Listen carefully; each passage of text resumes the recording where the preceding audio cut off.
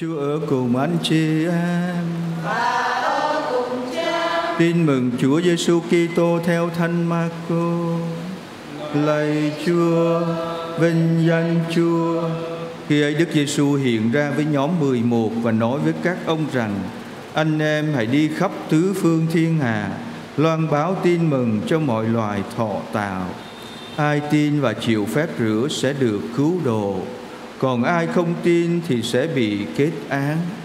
Đây là những lấu là sẽ đi theo những ai có lòng tin. Nhân danh Thầy họ sẽ trừ được quỷ, sẽ nói được những tiếng mới lạ. Họ sẽ cầm được rắn và dù có uống nhầm thuốc độc thì cũng chẳng sao. Và nếu họ đặt tay trên những người bệnh thì những người này sẽ được mạnh khỏe. Nói xong, Chúa Giêsu được đưa lên trời và ngự bên hữu Thiên Chúa. Còn các tông đồ thì ra đi rao giảng khắp nơi, có Chúa cùng hoạt động với các ông và dùng những dấu là kèm theo mà xác nhận lời các ông rao giảng. Đó là lời Chúa.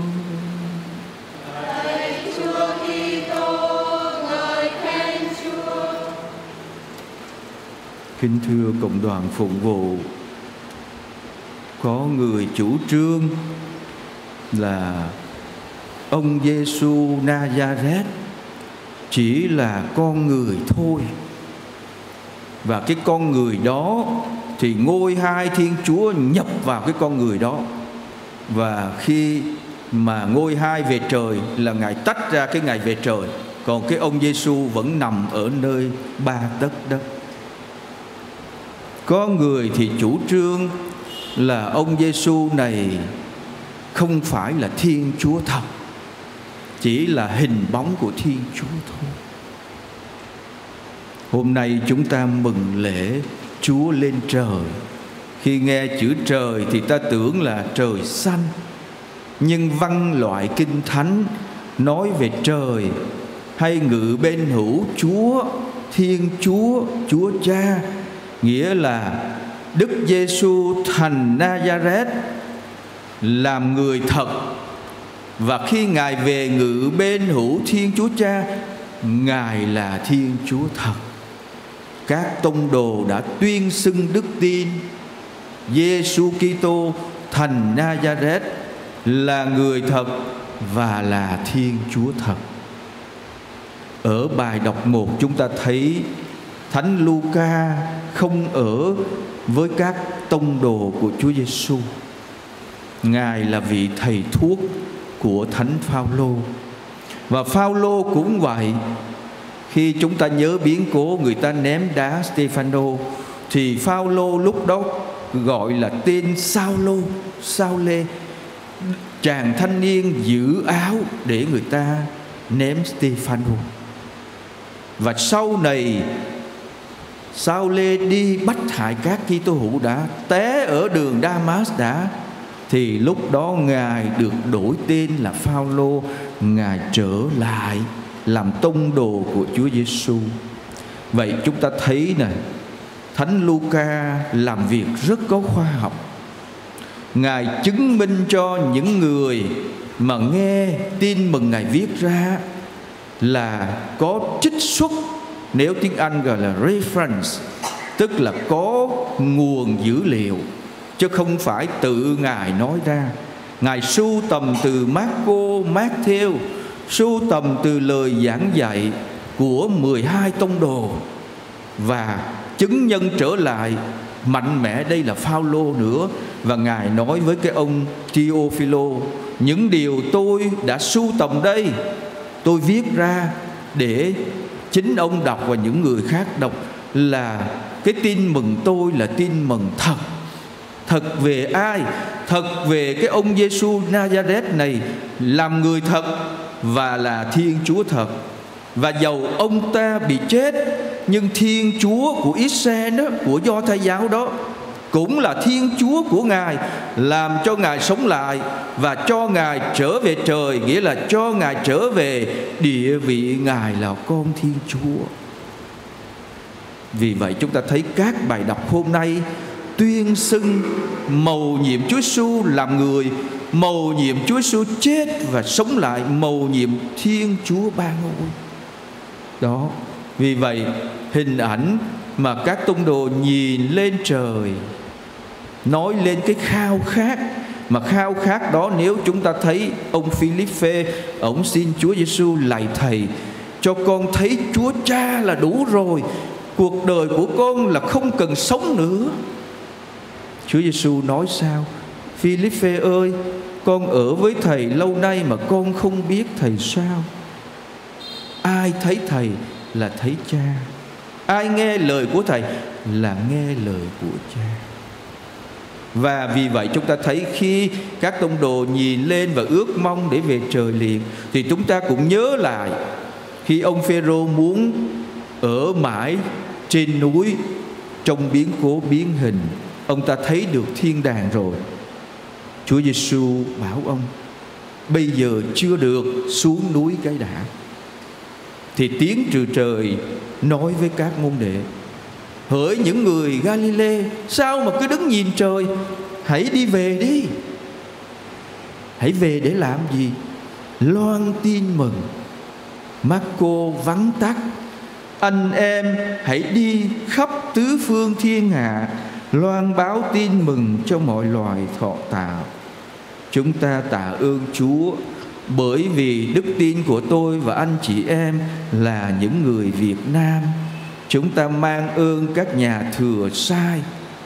Từ bên Roma, nghĩa là từ bên các nước phương Tây xa xôi, đã dám bỏ tiền tài, chức tước danh vọng sung sướng ở các nước phương Tây đến Việt Nam chúng ta ở thế kỷ 16 17 Lúc đó tôi nghĩ rằng ông bà cha mẹ mình ăn lông ở lỗ như cái người dân tộc trên đó Đóng khố thôi, Che nửa người và che dưới thôi, Nhiều khi lấy lá mà che nữa.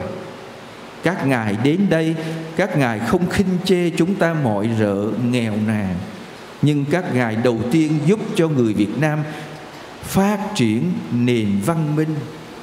Biết dùng thuốc Tây. Việt Nam mình cũng có thuốc Tây. Các cố Tây qua đây dạy cho mình cách giữ vệ sinh. Làm con heo, con bò ra phải biết rửa ráy Cho nó sạch sẽ, phải nấu cho chín mới ăn được. Chứ nếu mà ai mà ra ngoài à, Cao Bằng Lạng Sơn á, Tôi có chuyến ra ngoài đó. Người ta làm thịt heo ra Không có chịu rửa, nó không có nấu nướng nữa. Cha sở bảo phải dạy các ông biện bà biện là dạy trong giáo xứ. Phải biết rửa cho nó sạch sẽ thôi ăn đau bụng vi trùng tả lị phải đi bệnh viện. Không được.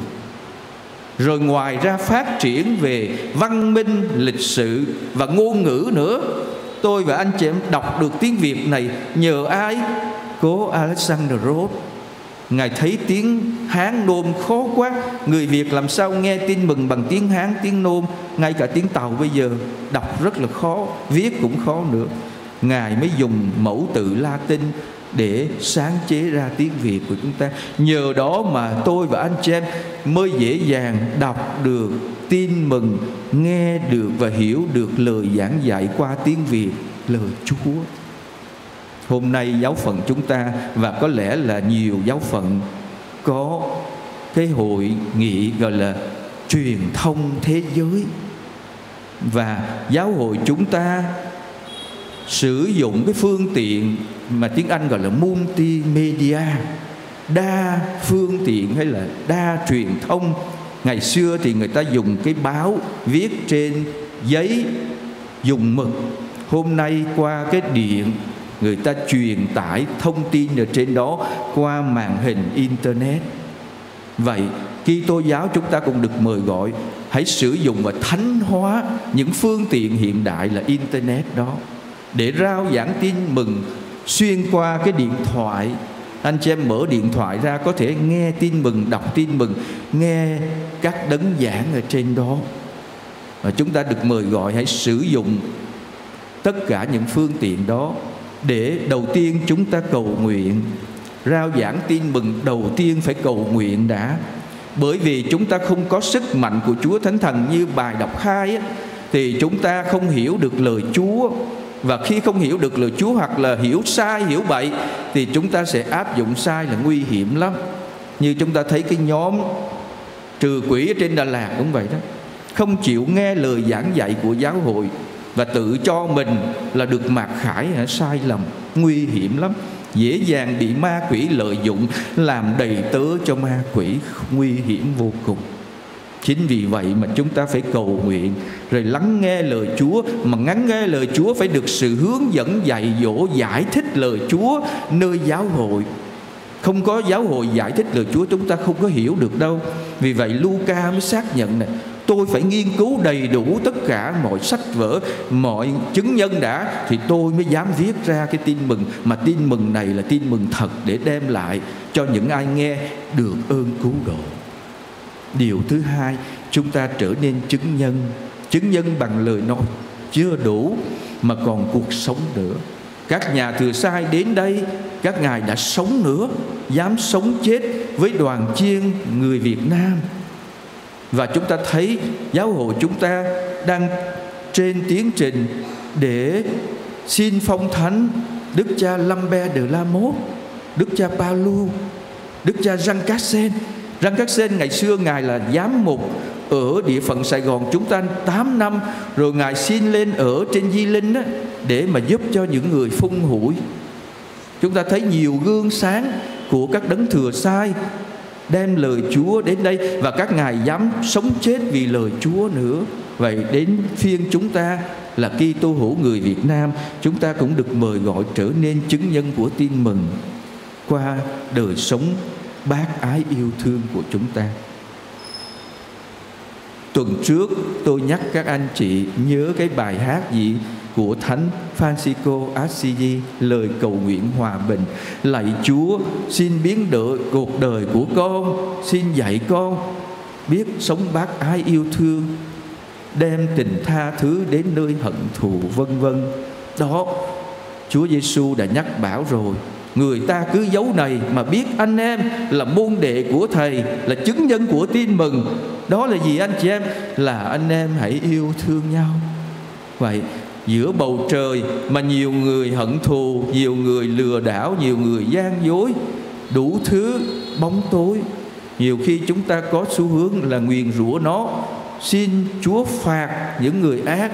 Nhưng không, người ta nói rằng giữa bầu đêm đó, chúng ta hãy thắp lên một ngọn nến nhỏ nhỏ cũng được. Mà ngọn nến đó là ngọn nến của tình yêu. Thì chắc chắn rằng ai cũng thích được yêu và yêu và khi có thánh thần ở trong tình yêu của chúng ta, thì ngài sẽ có sức mạnh thổi bùng cái tình yêu đó ra tôi mới nhận được những hình ảnh của anh em trong dòng đang làm một vụ ở trên tây ninh đó. Ừ, cha cha ký này ngài mới về và ngài cũng mau mắn thấy nhiều người dân tộc khơ ho trên đó nghèo lắm ở nhà sập sệ, chỉ che được mấy cái miếng cốt, rồi à, lá, rồi à, tấm bạc thôi và gió mưa ào ạt thổi vô, rách nát, lạnh lẽo, co cụm ở trong cái nhà đó. Bụng thì đói, người thì rét, có thể chết được. Cha mới kêu gọi những người mạnh thường quân sáng kiến làm nhà tôn, vách tôn luôn, bằng có nền xi măng đàng hoàng để giúp cho những cái người dân tộc đó họ khỏi có chết đói và chết rét nữa. Dông tố mấy ngày hôm nay ở trên đó, Gió lốc rất nhiều Và nhiều cái nhà tranh nhà sập đổ hết. Vậy thay vì mình chê trách người này người kia, Thôi mình sắn tay ra, Giúp được cái gì thì giúp, Để cho nhiều người bớt khổ, Nhiều người bớt nghèo, Nhiều người bớt đói. Vậy rao giảng tin mừng bằng việc làm nó mạnh mẽ lắm anh chị em à mà nó làm cho người khác dễ hiểu được Chúa Giêsu dễ cảm mến được tình thương của Chúa. Mà như Thánh Gia-cô-bê nói đó, nếu có người nghèo nào mà đến với anh em, anh chị em không cho họ cái gì hết, mà nói họ ra đi bình an, mà ăn no mặc ấm, nói như vậy có được không? Không được. Vậy người nghèo đến với mình mình hãy ra tay để thay mặt Chúa Giêsu để làm công việc săn sóc yêu thương của Chúa Giêsu và chúng ta thấy người công giáo chúng ta, người Kitô chúng ta có một mục đích khi chúng ta hiện diện ở trần gian này. Mục đích của chúng ta cuối cùng không phải nằm ở ba thất đất mà mục đích của chúng ta là về với Chúa. Mà về với Chúa không chỉ cái giờ chết về với Chúa đi với Chúa ở với Chúa. Ngay bây giờ ở đây Chúa đã hứa với các tông đồ nếu chúng ta đọc với mắt theo Thầy sẽ ở lại với anh em mọi ngày cho đến tận thế. Vì vậy khi tôi và anh chị em khi đi rao giảng tin mừng Chúng ta không cô độc, không cô đơn Mà chúng ta đi với Chúa Đi trong Chúa Và cùng với Chúa Trên con đường mà gọi là lữ thứ trần gian vì vậy sứ vụ rao giảng tin mừng Không chỉ dành cho quý cha, quý thầy, quý sơ Nhiều người lại mặc cảm Nói con không có hiểu tin mừng. Con chưa học bằng này bằng kia Làm sao con rao giảng tin mừng được? Không cần. Anh chị em đã nhận bí tích thánh tẩy Và Chúa đã đóng ấn quyền năng thánh thần Ở trong lòng anh chị em. Và khi anh chị em nghe lời Chúa Mà sống lời Chúa thì gấp trăm gấp ngàn lần những tiến sĩ kinh thánh, những tiến sĩ triết học. Bởi vì ngày hôm nay nhiều người tiến sĩ không có đức tin, Họ học mấy cái bằng tiến sĩ Nhưng mà họ không tin Và họ cũng không dám hy sinh Cho Chúa Giêsu trên thập giá. Vậy Chúa cần cái lòng của chúng ta Có thật sự trở nên chứng nhân của Chúa không? Amen.